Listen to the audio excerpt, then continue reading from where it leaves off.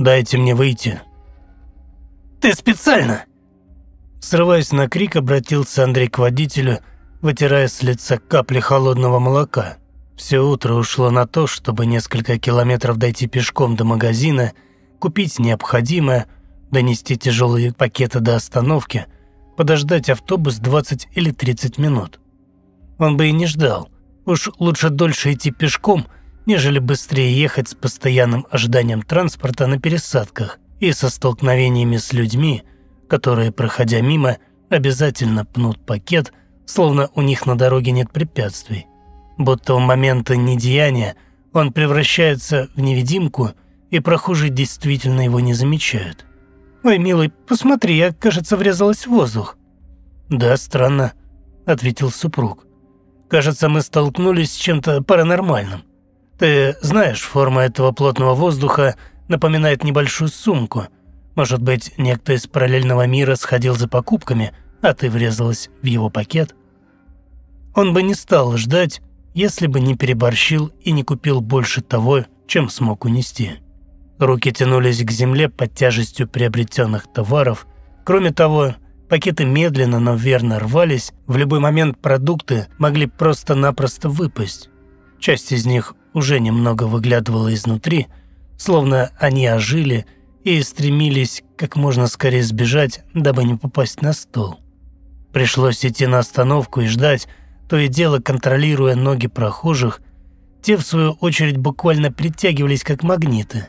Ему даже показалось, будто у некоторых людей ноги превращаются в самостоятельные живые единицы, становятся длинными, гибкими, ответвляясь от тела своего хозяина на несколько метров, быстро подлетают к покупкам, чтобы обязательно по ним пнуть, а затем вновь укорачиваясь, возвращаются на место.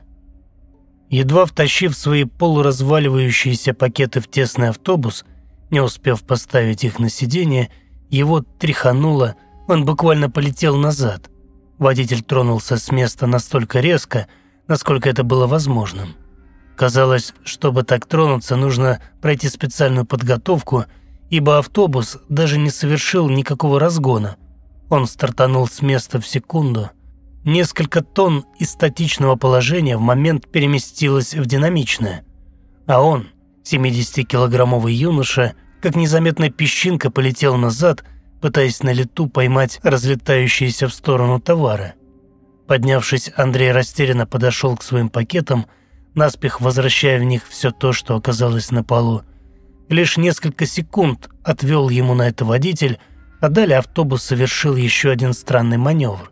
Он двинулся резко вправо, затем влево, а затем затормозил. Такое движение вновь не осталось без последствий. Теперь уже Андрей стоял на правом колене около водителя, который спокойно, словно ничего не происходит, с безразличным лицом смотрел на дорогу. «Можно поаккуратнее», – раздраженно процедил парень сквозь зубы, поднимаясь на ноги и вновь наклоняясь, чтобы подобрать продукты положить их обратно и, наконец, поставить на пол, дабы они не катались по всему автобусу. Водитель, словно издеваясь, то и дело нажимал на газ, на тормоз, газ, тормоз, резко вправо, резко влево. Наконец светофор прервал бесконечное перемещение из стороны в сторону. Андрей посмотрел на отсчет полторы минуты. Стало быть, есть время прекратить весь этот непрекращающийся хаос. Нужно просто положить покупки между сидениями и перед собой, сесть и спокойно зафиксировать все ногами. Главное доехать до точки назначения всего 15 минут. Потерпеть, выйти, кое-как доковылять до дома и все. Несносное приключение закончится. Понадобилось меньше времени, чем отвел светофор. Уже сидя на кресле, зафиксировав и утрамбовав все у себя под ногами, Андрей отсчитывал последние 10 секунд. 10, 9, 5, 4. Словно упавшего в обморок человека, его привело в чувство холодное молоко, стекающее по лицу. Он не успел и оглянуться, как продукты вновь оказались в проеме автобуса, а вылетевшая и порвавшаяся от удара упаковка молока забрызгала все вокруг, включая его самого, будто бомба. Как это возможно? Пронеслась мысль в его голове. Я же все утром бывал, он специально. Ты специально?» Закричал он водителю, привстав. Тот лишь мельком окинул его безразличным взглядом через зеркало заднего вида и вновь сделал резкий поворот, благодаря чему Андрей вывалился в проем, упав на катающиеся по всему салону товары и разлитое молоко. Он поспешил встать, удалось не с первого раза, его словно сбивала с ног невидимая рука, то справа, то слева. Наконец, уцепившись за поручень, он очередной раз внимательно осмотрел пол, по нему перекатывались все купленные им за сегодня продукты. Лужа молока болталась туда-сюда, раздавая ручейки во все стороны. Затем он взглянул на себя. Мокрый, в чем-то липком, вероятно, упаковка с джемом порвалась, испачкав пол. С разбитой о сиденье губой во время падения. С растрепанными мокрыми волосами он стоит едва не падая, еле удерживаясь на ногах. «Остановись, я выйду!» Почти добравшись до водителя, проревел он. Тот вновь вяло безразлично взглянул на него через зеркало заднего вида, не отреагировав. «Ты слышишь, что я сказал? Остановись!» Водитель сделал два резких маневра вправо-влево. Андрей, словно ожидая, вцепился в поручень и почти повис, однако ему удалось остаться на ногах.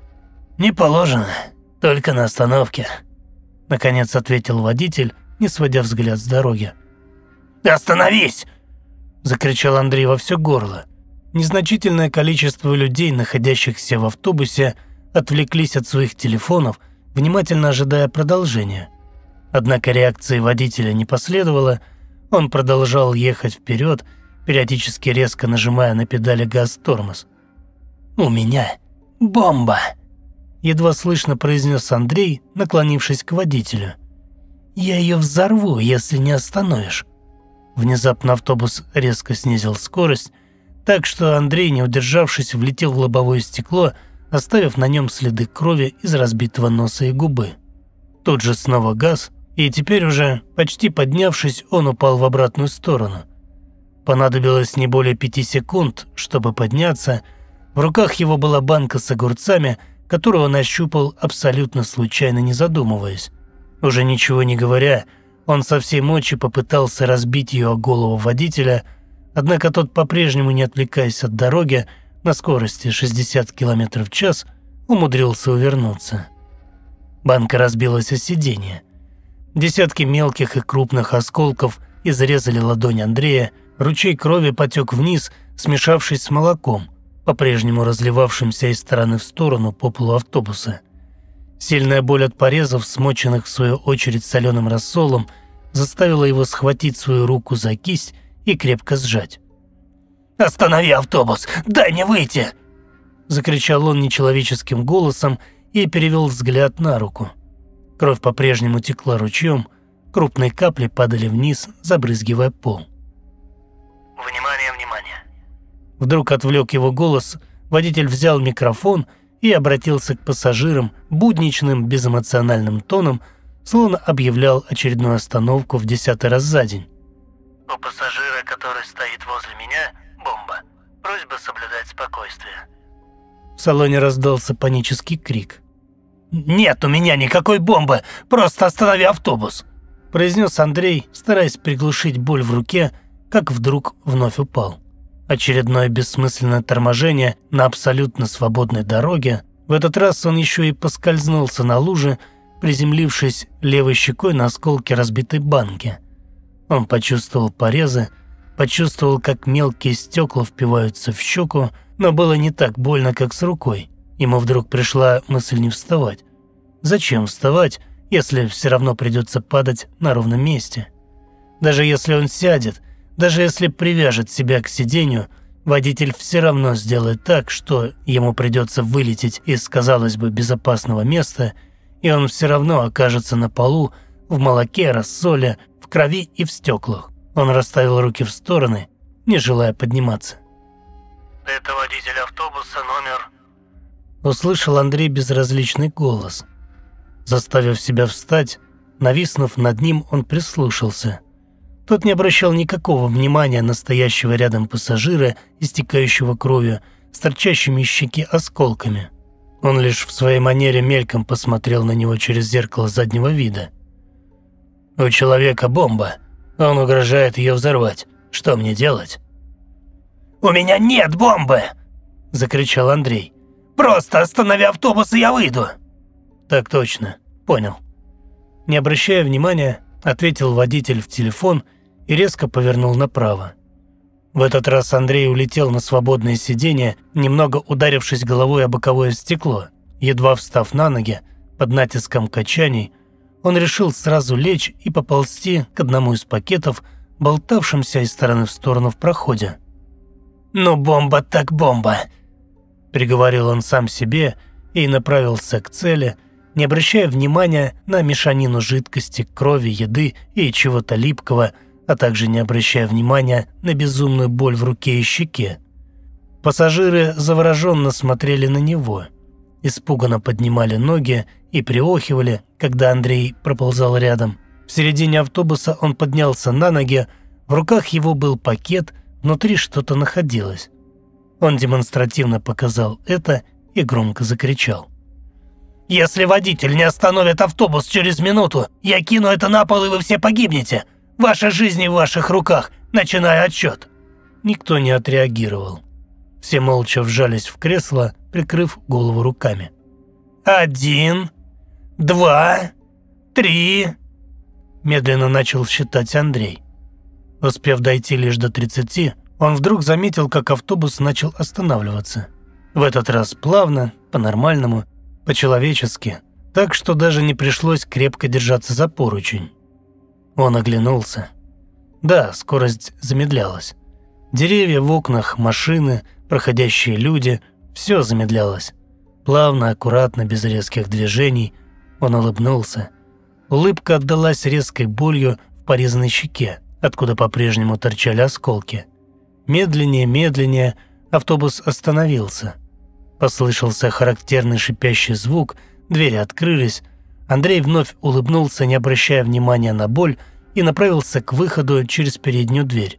Однако не успел он сделать и трех шагов, как вдруг в автобус вошел полицейский, автомат его был направлен на Андрея. «Клади бомбу на пол, аккуратно!» Четко, приказным тоном проговорил страж порядка. «Это не бомба», — ответил Андрей. Говорить ему было больно, речь звучала коряво, словно у него парализована часть лица. «Клади на сиденье аккуратно, без резких движений. Потом руки за голову и ложись на пол». «Это не бомба!» – закричал Андрей, моментально ощутив ярость. «Я просто хочу выйти!» Послышался выстрел. Левое окно треснуло, Андрей рухнул, из головы потекла кровь, пакет упал на пол, из него выкатилась банка с консервированными помидорами. «Правда, что ли, не бомба?» – удивленно спросил полицейский. Автомат его по-прежнему был направлен на Андрея, уже теперь лежащего на полу, с новым свежим ручейком крови из головы. Автомат полицейского не дымился, выстрел произвел не он, вероятно, это был снайпер. Полицейский взял рацию. «Отбой! У него нет бомбы!» Спокойно произнес он, развернулся и вышел из автобуса. Андрей же продолжал ползти к выходу, как вдруг вновь послышался характерный шипящий звук, в этот раз дверь закрылась. «Дай мне выйти!» Едва слышно, с трудом произнес он, истекая кровью, продолжая обессиленно ползти, водитель безразлично кинул на него взгляд через зеркало заднего вида, а затем резко нажал на газ.